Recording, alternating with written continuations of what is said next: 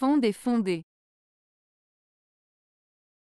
Fonde, le mot fonde est la troisième personne du singulier du verbe fonder à l'indicatif présent.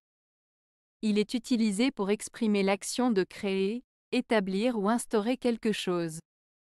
Exemple, il fonde une entreprise de technologie. Elle fonde une association caritative pour aider les sans-abri.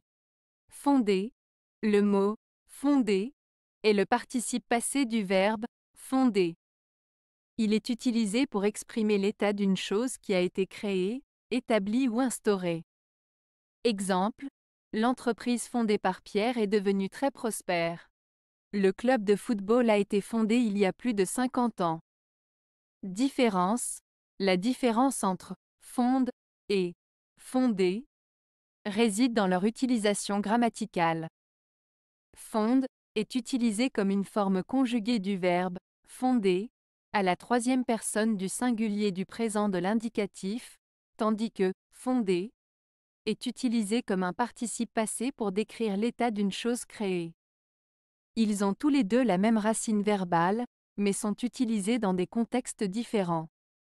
En résumé, fonde est utilisé pour exprimer l'action de créer ou établir quelque chose, tandis que fonder est utilisé pour décrire l'état d'une chose qui a été créée ou établie.